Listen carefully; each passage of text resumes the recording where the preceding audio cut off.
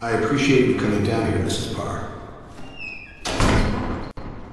Has Dad done something wrong? Uh, he's a disruptive influence, and he openly mocks me in front of the class. He says. Look, I know it's you! He puts thumbtacks on my stool.